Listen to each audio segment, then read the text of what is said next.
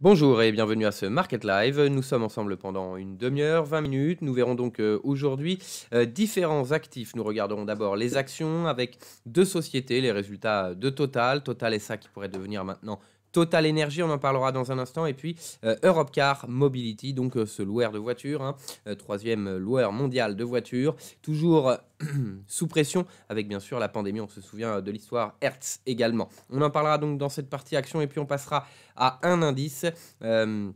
On regardera sur l'ouverture des marchés américains et puis on regardera bien sûr les cryptos, notamment au travers de l'Ethereum et du Bitcoin. Voilà un peu euh, ce que l'on va voir donc aujourd'hui. Le S&P 500 probablement sur l'analyse technique, Europcar SA, euh, Total SA pardon, et euh, le Bitcoin. Puis on terminera comme d'habitude avec les informations à venir. On va commencer tout de suite. On commence d'abord hein, par les, actions. On va parler un peu bien sûr du marché.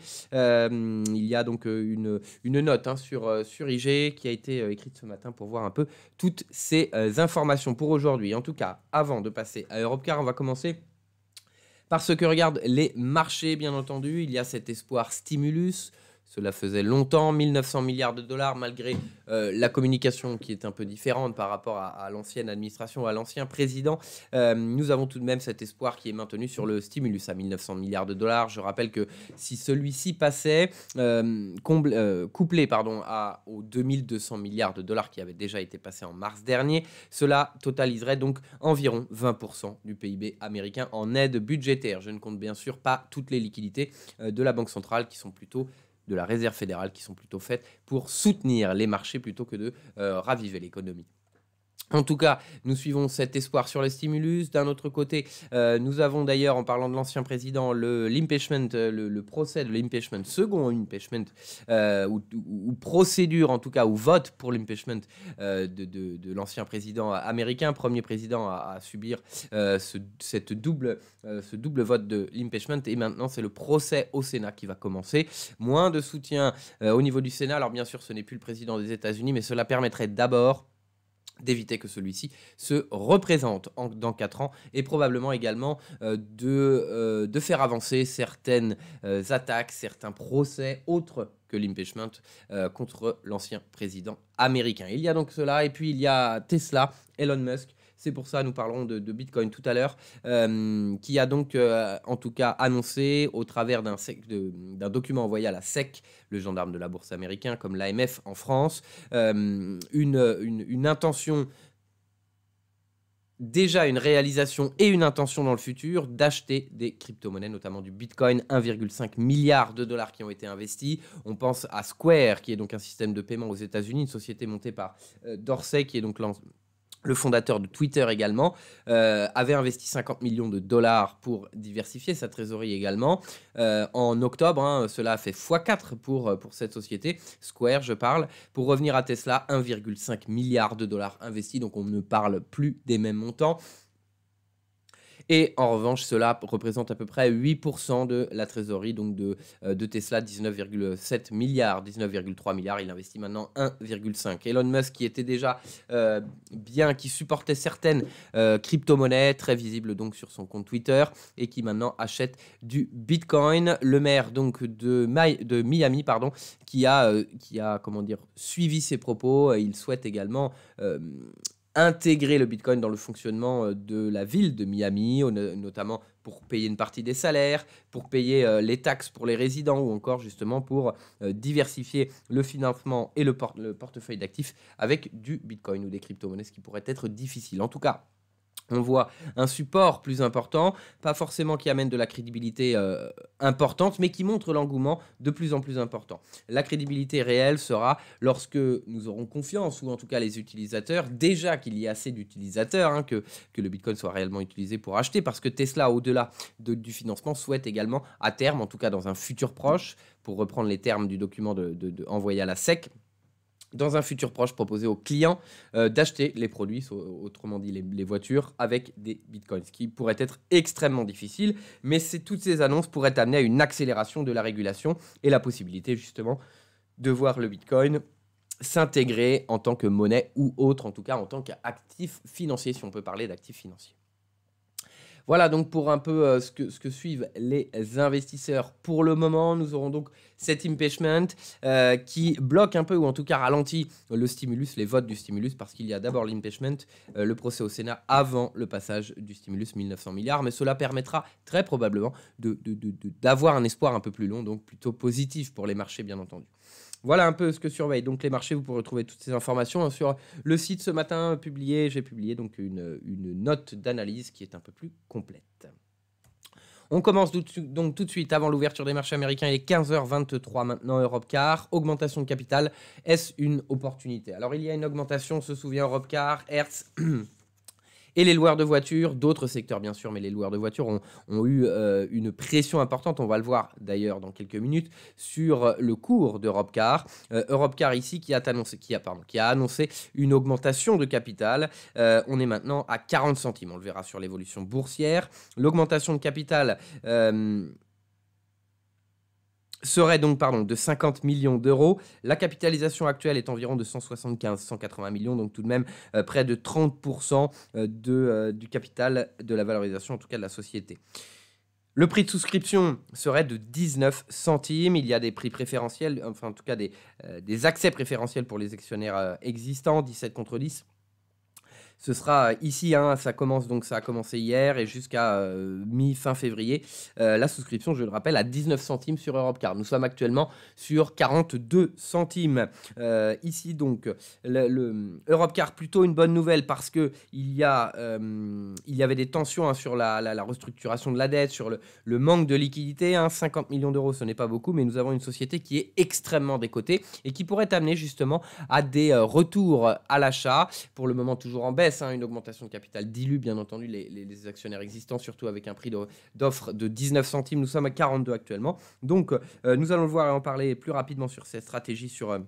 Sur Europcar. Europcar, toujours numéro 3 des, locations de voitures, un chiffre d'affaires évalué à peu près à 3 milliards de dollars. Et puis il y a cette, cette case Euraseo qui possède près de 30%. Euraseo euh, a pris une participation il y a longtemps sur Europcar. Souhaite-t-elle la vendre à un moment et pour le moment est en discussion. 30% euh, Euraseo donc euh, possède 30% d'Europcar quasiment.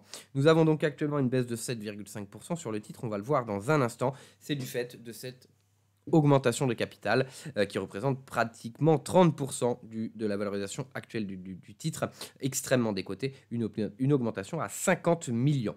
On va regarder donc sur Europcar, comme je le disais, l'évolution euh, graphique. Europcar, donc euh, voilà, 7,71 pour le moment. On est sur les 4,42, euh, donc une offre euh, à 19 centimes, une offre préférentielle. On va regarder en journalier pour bien comprendre cette évolution qui a déjà commencé précédemment, bien sûr. Europcar, l'introduction en bourse, hein, s'est faite sur les sur les 12 euh, euros ici, 11-12 euros, et nous avons eu le plus haut historique en septembre 2017. Nous étions à 12,82 euh, et nous sommes redescendus. Nous sommes actuellement hein, sur les plus bas historiques depuis la cotation seulement en 2017. Il y a donc euh, une opportunité probable d'achat. Alors, selon moi, hein, c'est mon, point de vue ici. Attention tout de même au risque. Hein, c'est une société qui est, en, qui, qui est en train de se restructurer. Il y a une augmentation de capital, donc attention tout de même. Le prix de l'offre est à 19 centimes. Nous avons l'extension de Fibonacci ici, on est en dessous de l'ancien plus bas historique ici, hein, sur les 50-52 qui avait déjà permis le rebond. L'accélération baissière pourrait nous ramener ici sur les 0,25-1. Je le rappelle, le prix de souscription à 0,19. Euh, je vous invite à regarder le détail, un peu plus en détail. L'offre est ouverte actuellement et depuis hier.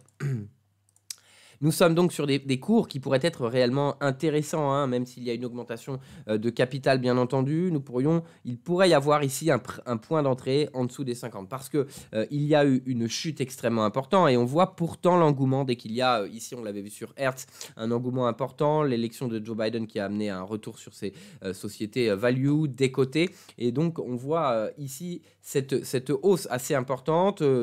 voilà, si on part du 9 novembre, 254%.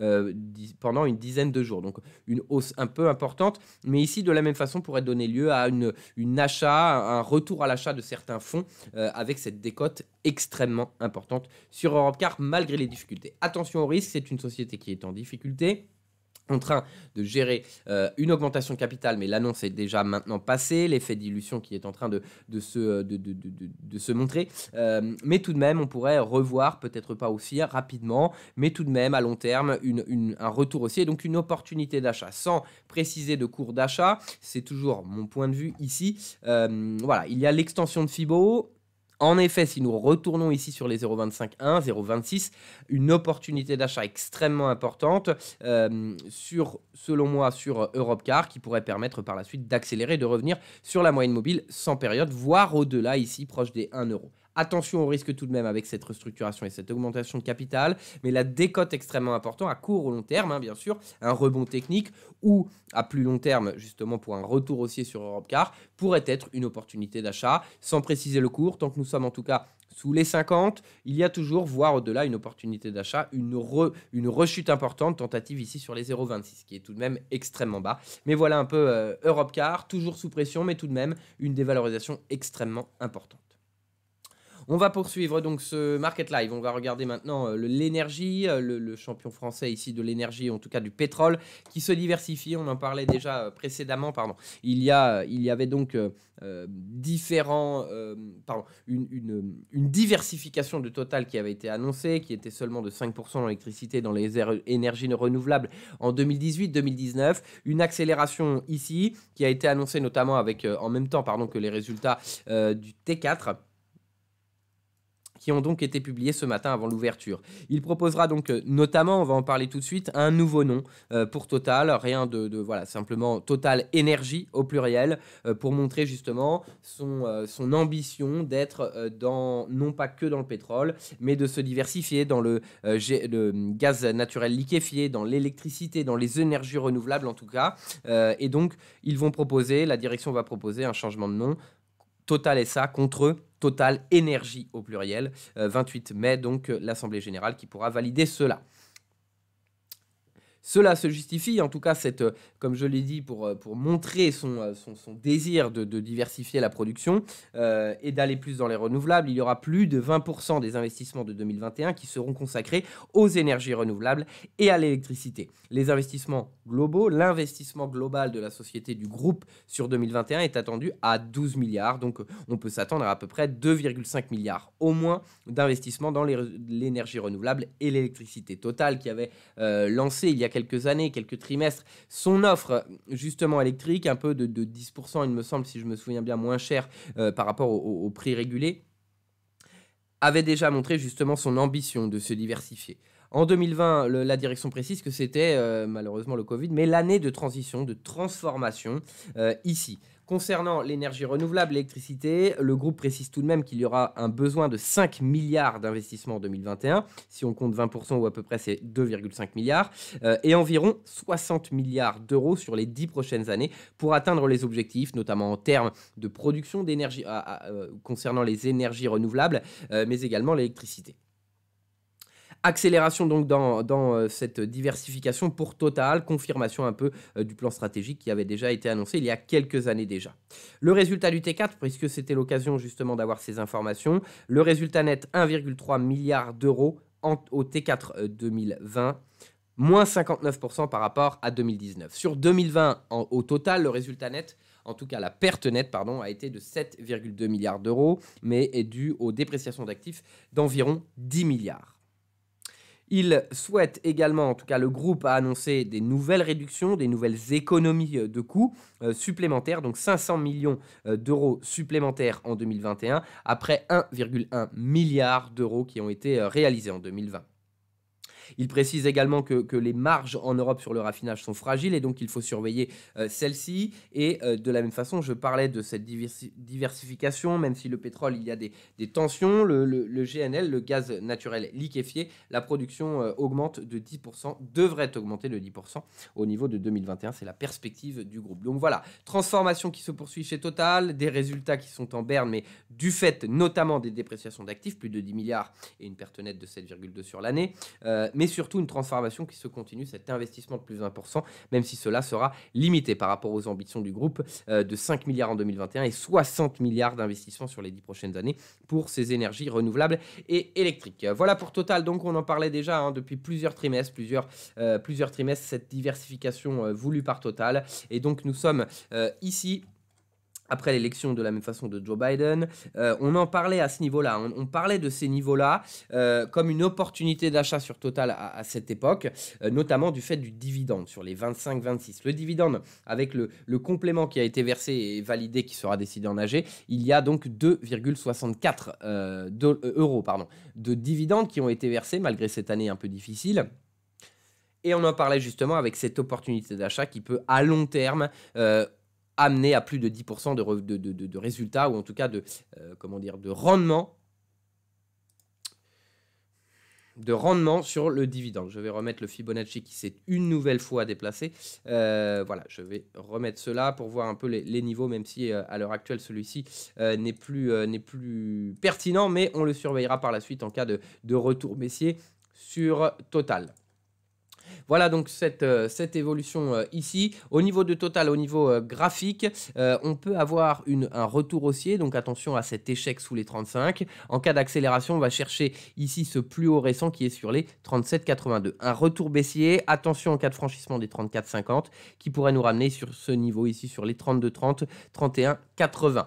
Une belle hausse, un retour en cas d'accélération baissière de crainte sur les marchés. Un niveau qui est intéressant ici entre les 27, 22 pour avoir justement ce rendement du dividende, je le rappelle, 2,64 malgré l'année difficile, euh, avec un achat euh, sur ces niveaux, euh, une perspective éventuelle par rapport aux informations que nous avons actuellement de rendement du dividende supérieur à 10%.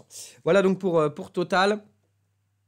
On suivra l'énergie après l'OPEP et, l'agence de l'énergie, de l'information de l'énergie aux États-Unis. Cela a amené à, une hausse importante. On va regarder maintenant le secteur, pardon, la partie technique, donc plutôt sur les, le, sur les indices américains donc, euh, même s'il y a peu de changements, on regarde donc toujours les mêmes niveaux, 4199 ici, nous avons donc une poursuite de la hausse sur l'indice américain, on va regarder avec l'ouverture qui s'est faite il y a 4 minutes, nous sommes en décalé, euh, on regarde un peu ces indices, pour le moment voilà une baisse sur les futurs, une tentative de rebond qui pourrait permettre l'accélération et de revenir sur de nouveaux plus, hauts historiques, pas forcément de crainte, euh, actuellement sans réelle tendance sur les indices. On regardera cela avec attention, euh, mais cela pourrait conduire à une nouvelle hausse. Pas de, niveau technique, on surveille la moyenne mobile sans période qui correspond à cet ancien plus haut ici, hein, qui était un plus haut historique. Euh, le dépassement pourrait permettre l'accélération 4000 par la suite. On s'intéresse plutôt aux crypto avec euh, le, je le disais, Elon Musk et, l'accélération que nous avons connue hier. Voilà, le dépassement du nouveau plus haut historique, les 50 000 dollars en ligne de mire. je ne fais pas donc de forcément de, de, perspective ici sur le, le Bitcoin. On a eu euh, les 46 000 pour le moment qui mettent euh, en, échec. C'était simplement, on le voit, euh, ce Fibonacci sur la baisse, les deux plus grosses baisses historiques avant 2020 de, du Bitcoin, qui, a, qui ont donné le premier objectif éventuel, 30 000, et ici 46 000. On est en train d'hésiter justement entre ces, ces deux Fibonacci, 46,7, 46,35. Ce n'est pas un objectif que je donne, simplement une indication 73 570 donc sur euh, par rapport toujours à ces, extensions euh, de Fibonacci donc que l'on a vu. Si l'on prend également ce voilà, ce Fibonacci, on retrouve notre objectif plus court terme. Toujours, ce n'est pas un objectif, pardon, mais euh, par rapport à l'analyse graphique sur la baisse que l'on a connue en 2021, euh, donc euh, à court terme sur le Bitcoin, on peut aller chercher les 50 146, voire le dépasser, et un retour qui permettrait le rebond et de se maintenir au-delà des 50 000 euh, dollars. Voilà sur le Bitcoin, je parle également de l'Ethereum qui n'a toujours pas accéléré réellement. On avait vu ce, c'est l'ancien plus haut historique ici, on avait vu ce type de phénomène sur le Bitcoin hein, qui avait bloqué sous les 20 000 avant l'accélération, 30 000 dollars, et puis maintenant nous sommes sur 47. Pour le moment, l'Ether n'a pas réellement accéléré, on attend un retour sur les 2000, 2100 dollars voilà, c'est un objectif de la même façon qui est donné 2248, le seuil des 2000 et 2248 de la même façon, avec cette baisse historique sur euh, l'Ethereum. Et nous sommes, euh, voilà, l'extension de Fibonacci qui donne cela. Le Bitcoin et les cryptos actuellement continuent leur, progression. On pourra avoir une poursuite assez importante de la hausse. On surveille les altcoins, altcoins. On surveille également le Bitcoin et l'Ethereum. attention tout de même à la volatilité extrêmement importante. Pour le moment, la perspective haussière semble se poursuivre sur les crypto-monnaies. Voilà donc sur ce Market Live, en tout cas sur les parties techniques. On termine très rapidement avec des publications à venir. Comme d'habitude, inscription hebdomadaire au chômage aux États-Unis, toujours très élevé, 750 000 attendus contre 779 000. C'est une stabilité, hein, mais c'est extrêmement élevé par rapport au niveau que l'on voyait précédemment, ou en tout cas avant la crise. Ce sera donc demain et ce sera à 14h30. Pardon, ce sera jeudi. Production manufacturière au UK, ce sera vendredi en mensuel. Au-delà de, la production manufacturière qui pourrait être encore en, en hausse, mais de moins en moins. 0,6 contre 0,7 précédemment, 0,6 attendu contre 0,7 précédemment. Ce sera vendredi à 8h. On aura la production manufacturière et des données également sur le PIB. Ce sera au Royaume-Uni vendredi matin. Voilà donc pour ce Market Live. Merci de nous avoir suivis. Vous retrouverez Alexandre Baradez demain à 11h. Nous, on se retrouve également demain. Ce sera à 16h et ce sera le Market Live matières premières et crypto un peu plus poussé. Merci encore de nous suivre. Très bonne journée à tous.